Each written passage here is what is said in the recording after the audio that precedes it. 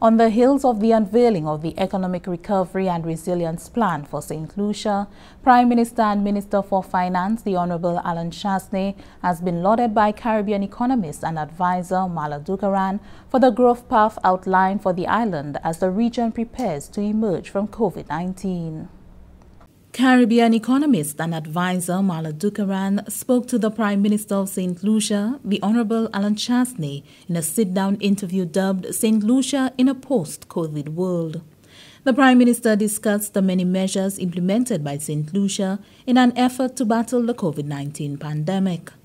He explained that tough decisions had to be made as the country battled both health and economic crises simultaneously. It soon became clear that St. Lucia would not be able to achieve the estimated growth predicted for the island for 2020. Instead, government was now faced with the reality of having to borrow to keep the economy afloat.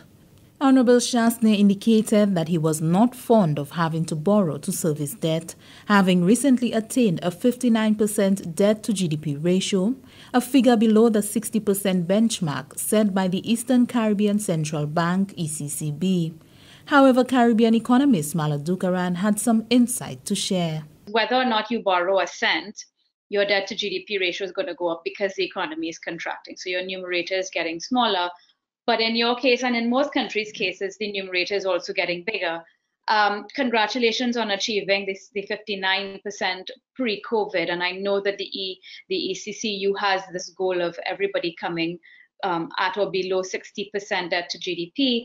I feel like you ought not to worry too much, Prime Minister, right now about debt to GDP because you really, it's really about keeping your your economy uh, um, stable and keeping people healthy and and in productive, um, in, in in you know productive in some way.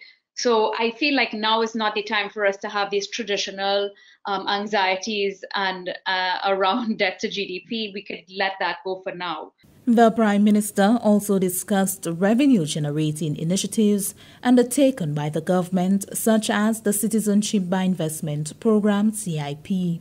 Having been one of the last countries to commence the program, Honorable Chastanet explained that the government did not want to compete on price, but instead was looking to differentiate the product. So we put in what we thought was the competitive price, sadly, which is $100,000.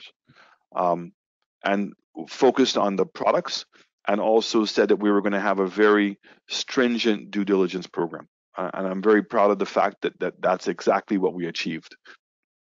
So how do we differentiate the product is to go after high net worth individuals. So okay. one, um, offering the, the headquarters. So a person now can get become a citizen in St. Lucia, open up a headquarters, um, and is uh, is both a citizen and shows that he has a business in St. Lucia.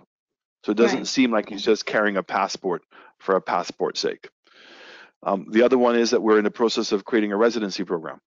So that fact a person can either purchase real estate in St. Lucia through the CIP right. program um, and now um, uh, pay taxes of about $35,000 a year.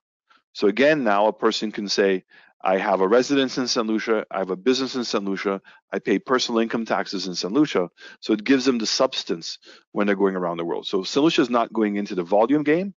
Um, what we're going into is quality um, right. and trying to go after individuals of high net worth and that they're going to bring their friends here. The government of St. Lucia remains committed to providing aid to all those negatively impacted by the COVID 19 pandemic and the continued development of St. Lucia.